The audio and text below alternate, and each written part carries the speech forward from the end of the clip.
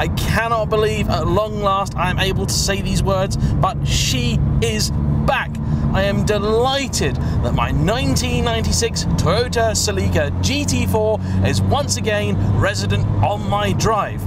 I'm sure a whole bunch of you are very, very happy about this, and I'm sure an equal number of you are also completely and totally befuddled by this announcement. And I wouldn't blame you for not realizing that I even owned this car. So, to bring everybody up to speed, allow me to wind the clock back a little bit and tell you what's gone on, and then I'll tell you what's happened since the last video with this car.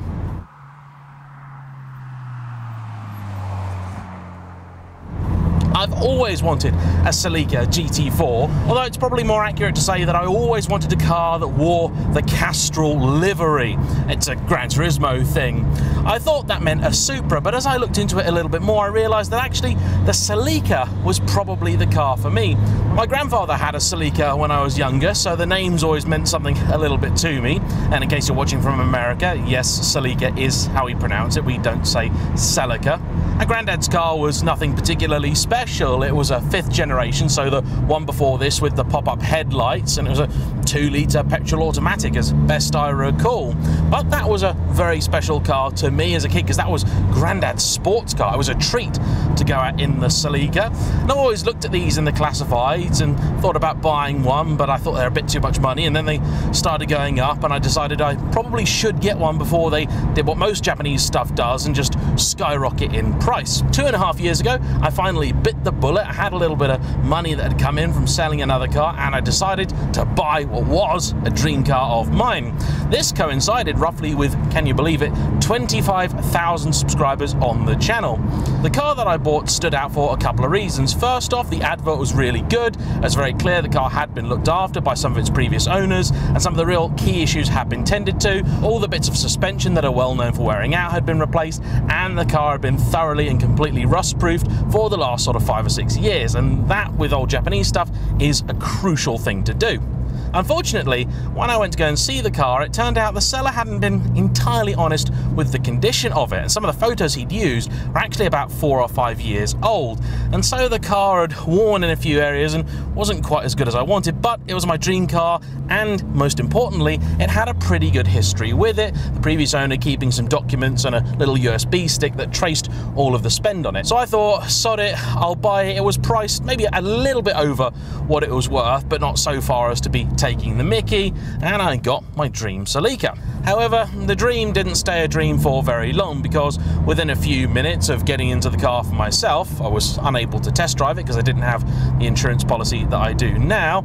I realised that the gearbox needed some work, there was an oil leak in the engine, and the car was a bit tattier than I really had realised. The owner didn't really seem to care about any of this, and I decided that the best thing I could do would be to try and enjoy the car, and as and when I could afford to, do up the things that needed doing.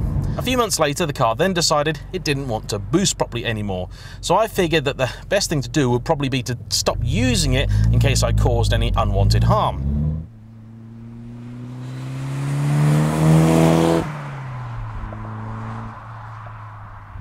Back then, YouTube was certainly not a money making enterprise for me, so doing any work to my cars was not something that I could get done very easily. And so the Celica sat on my driveway looking rather sorry for itself for quite some time, and I I just couldn't really bear to look at it anymore. So, in winter of 2019, I got in touch with Ashley, who's a friend of the channel and he dabbles in amateur restoration to a reasonable standard. He's not a professional car restoration shop, but he also doesn't charge professional car restoration shop prices. And the intention was that the procedure was going to take a little while to then give me the time needed to earn the money to pay for it all.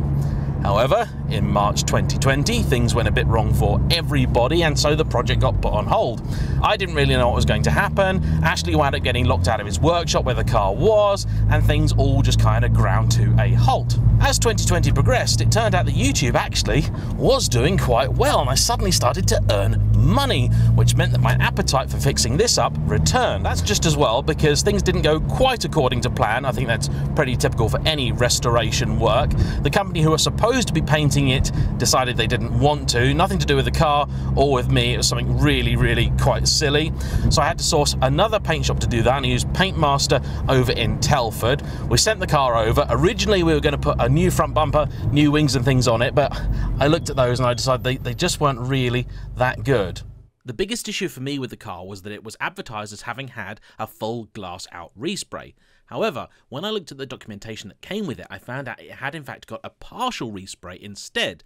Though it looked fine in the five year old photos used to sell it, by the time I got to it, you could see whether the paint was original or not, and the car was 50 shades of white.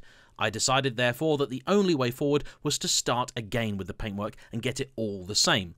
So when it did eventually go off to Pro Repair, they did a very thorough job, including fixing some old repairs, making sure the potential corrosion was kept at bay, and we even sorted out the overspray on the window trims from the previous spray job. And now the car looks absolutely sensational. And now it's back. Is it perfect? No. But am I having fun? Yes.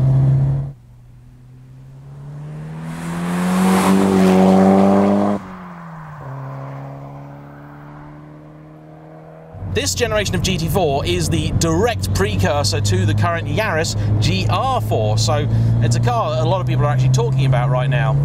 Unfortunately, as you probably hear, mine still has a few issues, the gear shift being the biggest one. We have tried a couple of things, but it would appear that the problem is within the box. It's going to need a rebuild. Fortunately, that's not too expensive. There is an outfit out there called MK Tuning. The guy's a specialist in these things, and he's actually worked on this exact car in the past. So I'm going to try and get in touch with him soon. I know he's very, very busy, and he's a little bit old school. He doesn't really do emails or anything. And the aim is to build a list of all the stuff on here that needs doing, and I'm going to send it down to him over winter, and then have the next round of stuff done. I'm going to try and enjoy it as much as I can in the meantime. If you're gentle, no, no, not if you're gentle with the gear shifts. Third, if you're gentle, that actually works okay. But fourth is just really not happy at all. I am slowly getting back in tune with this car. In reality, I, I, never really got to experience it that much properly before it went away. When it came to me, it was on old Yokohama Parada Spec 2s, which were in the wet pretty lethal, and that was most of the time that I had the car. It's now got newer Yokohama V105s on it, which are much better. I actually really like the V105, and I do like putting Japanese rubber on Japanese cars. This also is a spectacular thing. Whilst the interior may be sort of very vinyl-tastic uh, 1990s interior, it's a special car, mostly because of that amazing view out the front. You can see that little intake snorkel there, the vents. To me, this is one of the best bonnets ever put on a car. Full stop.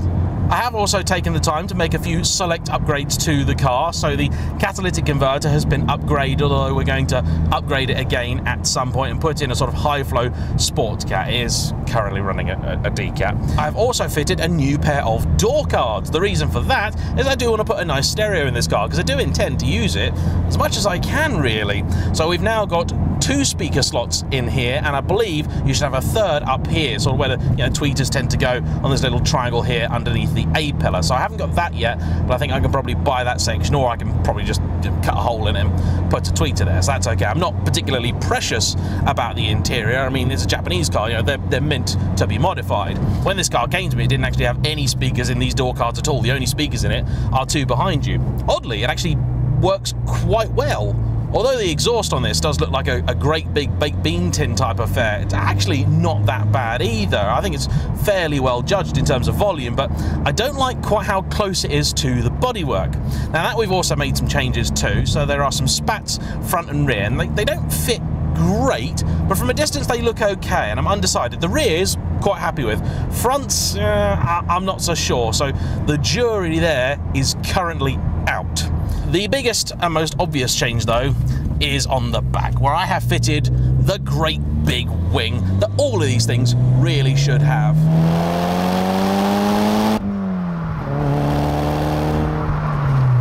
My car came with a three-post spoiler, which I don't actually hate, But to me, the Celica GT4 is defined by that classic side profile with that great big rear wing. And it's actually an interesting affair because the official solution for that rear wing is you take the regular two-post spoiler that you had on some of the model years of this car and then you put big riser blocks on. They're the pieces that say GT4 on the side. And that gives it the rally car height wing. I really quite like it. From memory, the first year of the GT4 kind of got this as standard, and I think the last year got it as standard, but everything in between didn't. They got the three posts, so to actually fit this, I bought a whole new tailgate because all the holes were drilled in the wrong place in mine. On my list of things to fix is also the gear lever here. I don't actually hate it, it's, it's alright, the action is actually quite nice when I got it, for some reason, this Mishimoto lever was all wrapped in some weird tape. No idea why. There was nothing actually wrong with it. But underneath, the lever itself has been kind of butchered, presumably to fit this or, or something else. So that I do want to get fixed. Probably quite easy when the gearbox is out of the car.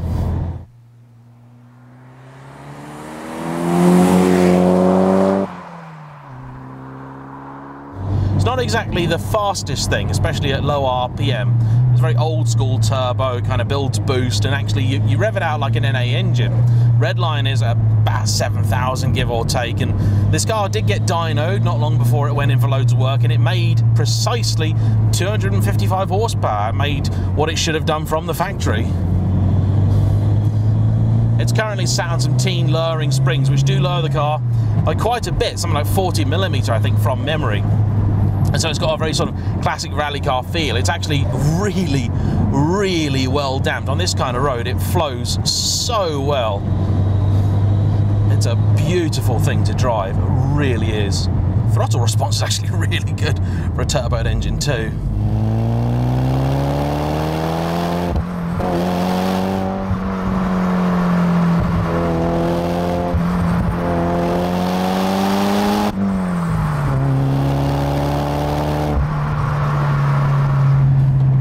actually know exactly what it was that was causing my uneven boost issue, but we replaced lots and lots of pipework in the engine bay. There was a screw that was missing, and that could have been responsible.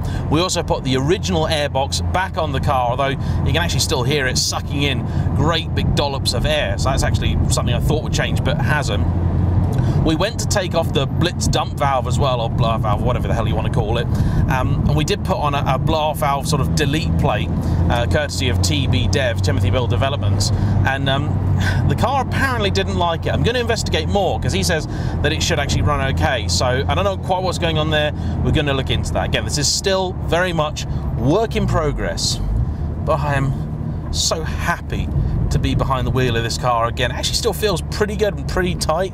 I'm really enjoying it. The ride quality is excellent. Steering feel is wonderful. You know, it takes a, a little while for you to get used to it, but it waitens up really nicely.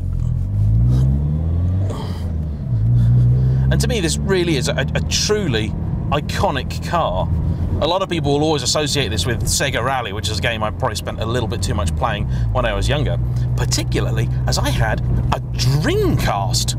Oh, believe that. I actually won uh, my Dreamcast uh, in a Fantasy Formula One competition, uh, run, I think, by Special Reserve. If anyone remembers Special Reserve, do get down in the comments and press F, please, because that was a great magazine. I mean, that was every birthday, every Christmas. Special Reserve was this like mail order magazine for games and stuff and it would come out know, every month or something and it was just basically like a, a, classified ads almost for stuff. You just highlight stuff that you wanted and you know this is before the internet really. You found what you wanted the prices were all there you phoned them up told them and they sent the stuff out.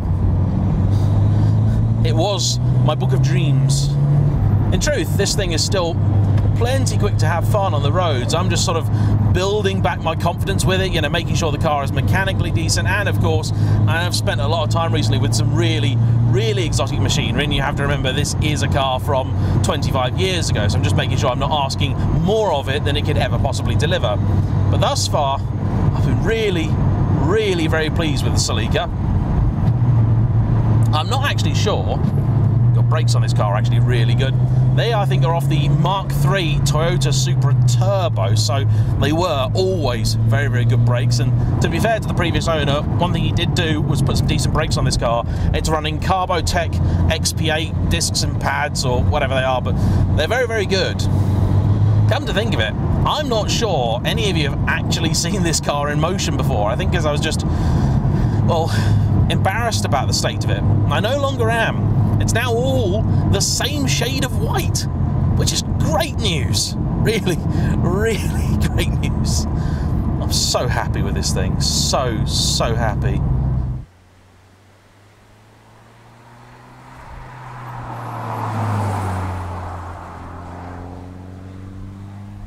Lots of work to be done. I need sort of stereo out in here.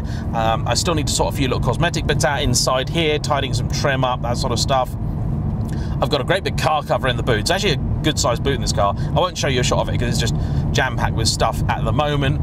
I need to work out what other mechanical bits I want to do. I need to start getting a list together of all the things I want to do with the car. But first and foremost, I just want to get out there and enjoy it because ultimately that's what it's for. And at long last, I can actually do that. Oh, yeah. I forgot. The dash also only illuminates half of itself half of the time in some very weird blue colour. That means it's almost impossible to see at night. So that needs fixing. ah, the things you remember. That doesn't even bother me anymore. I'm not even mad. So there we go. The Celica is back. Anything you want to know, pop into the comment section down below. Please like, subscribe if you haven't already, and I'll see you for the next one. Bye bye.